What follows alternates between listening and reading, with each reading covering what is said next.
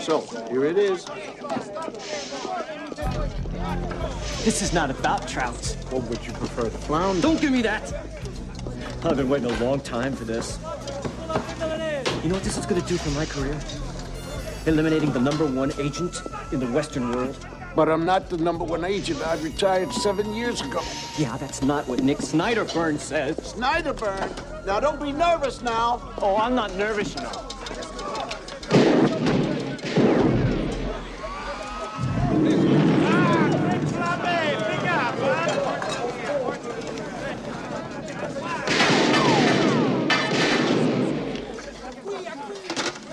Make spaghetti, Scotty.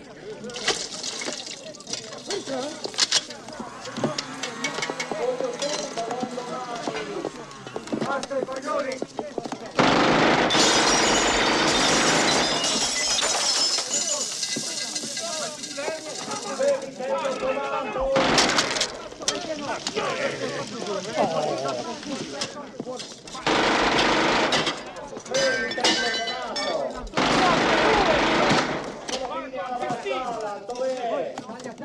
Mobare!